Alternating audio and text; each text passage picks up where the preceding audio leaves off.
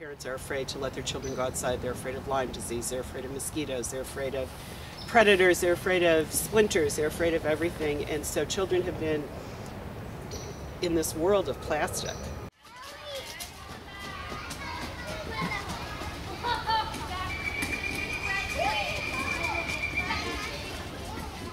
There's been a lot of research indicating that children are actually nature deprived.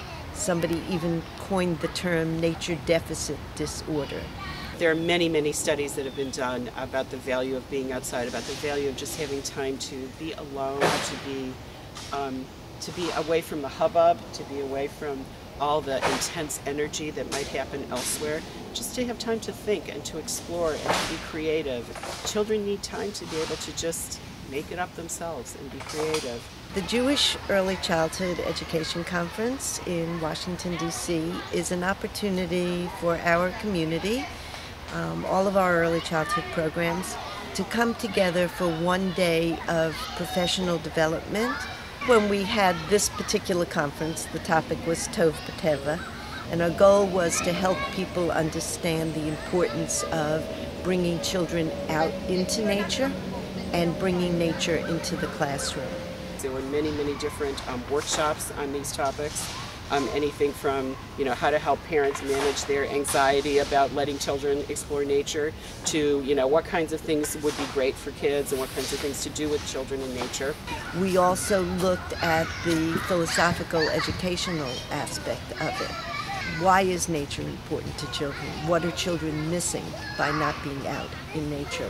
What we asked our schools to do after the conference was to reflect on what they learned at the conference and to begin to think about how nature is brought to the children in their schools.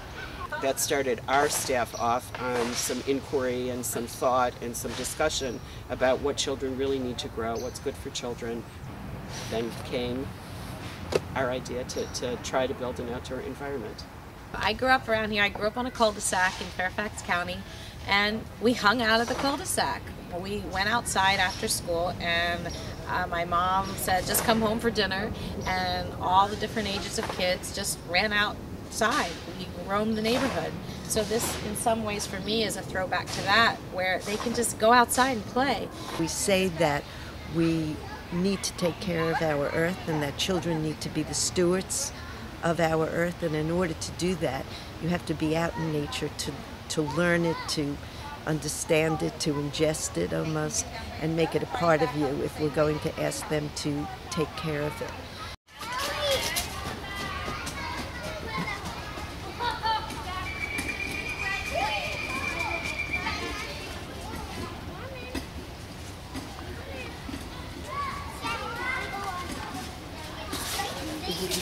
Go back.